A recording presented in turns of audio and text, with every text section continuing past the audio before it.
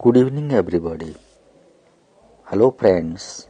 I am Professor Debashish Hota ଆପଣ ମୋର last video ଦେଖିଥିବେ ବାର୍ଷିକ ରାଶିଫଳ ମେଷ ରାଶି ପାଇଁ ଆଜି କଥା ହେବି ବୃଷ ରାଶି ପାଇଁ ଦୁଇ ହଜାର ଉଣେଇଶ କେମିତି କଟିବ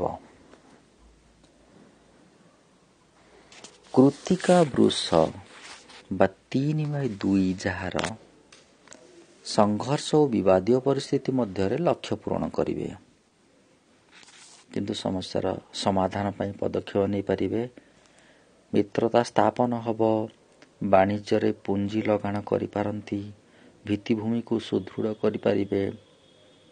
ଶିଳ୍ପରେ ଉନ୍ନତି କରିପାରିବେ। ପ୍ରିୟଜନଙ୍କ ସହଯୋଗ ମାଧ୍ୟମରେ ଓ ସାମାଜିକ ମାଙ୍ଗଳିକ କାମରେ ଯୋଗ ଦେଇପାରିବେ। ସୁସ୍ଥତା ରହିବ ପାରିବାରିକ ଶାନ୍ତି ରହିବ ସନ୍ତାନଙ୍କ ଉଚ୍ଚ ଶିକ୍ଷା ସମ୍ଭବ ବିଦେଶ ଯାତ୍ରା ଦିଗରେ ବି ସଫଳତା ପାଇପାରିବେ। କିନ୍ତୁ ଏପ୍ରିଲ ପରଠାରୁ ସାମୟିକ ଆର୍ଥିକ ଅନାଟନ ବା ଧନହାନିର ସମ୍ଭାବନା ଅଛି। ପ୍ରତିବନ୍ଧକ ଜନିତ ମନସ୍ତାପ କାର୍ଯ୍ୟ ହାସଲ ବିଳମ୍ବ ପୁରାତନ ପୀଡ଼ା ବିଚ୍ଛେଦାତ୍ମକ ଖବରରେ ବିଚଳିତ ରହିପାରନ୍ତି ଶିକ୍ଷା ପରୀକ୍ଷାରେ କୃତକାର୍ଯ୍ୟ ହେବେ ସାହିତ୍ୟ କ୍ରୀଡ଼ା ଚଳଚ୍ଚିତ୍ର ପ୍ରବୃତ୍ତିରେ ଉଚ୍ଚ ସମ୍ମାନ ପାଇପାରିବେ ରୋହିଣୀ ବୃଷ ଚାର ବାଇ ଦୁଇ ଯାହାର ରାଶି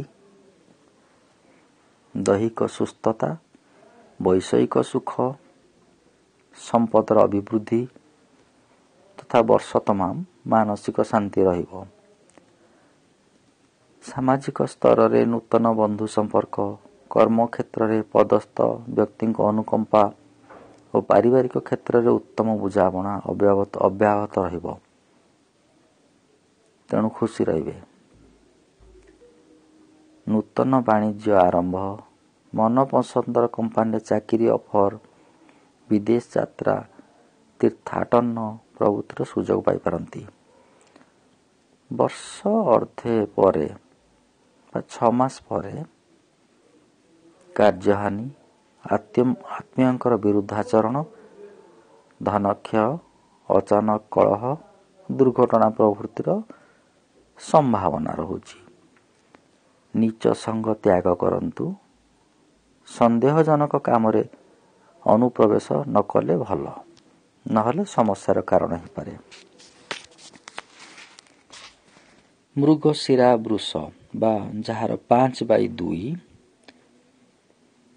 ସେମାନଙ୍କ ପାଇଁ କର୍ମକ୍ଷେତ୍ରରେ ସଫଳତା ସାଙ୍ଗକୁ ନୂତନ ଗୃହ ଭୂମି ଲାଭ ଗାଡ଼ି ମୋଟର ପ୍ରଭୃତି କ୍ରୟ କରିବାର ଅଭିଳାଷ ପୂରଣ ହେବ। ଭାଇ ବନ୍ଧୁ ଓ ପଡ଼ୋଶୀଙ୍କର ସହ ସୁସମ୍ପର୍କର ଅଭାବ ବ୍ୟବସାୟରେ ଅନ୍ତରାୟ ସୃଷ୍ଟି କରିପାରେ।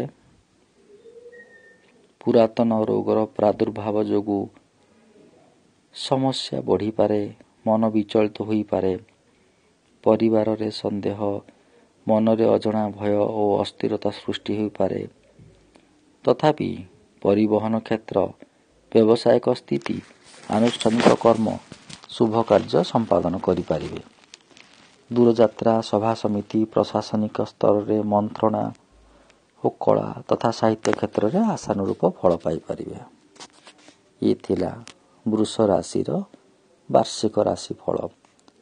Thank you everybody for your patient listening please like share and subscribe more thank you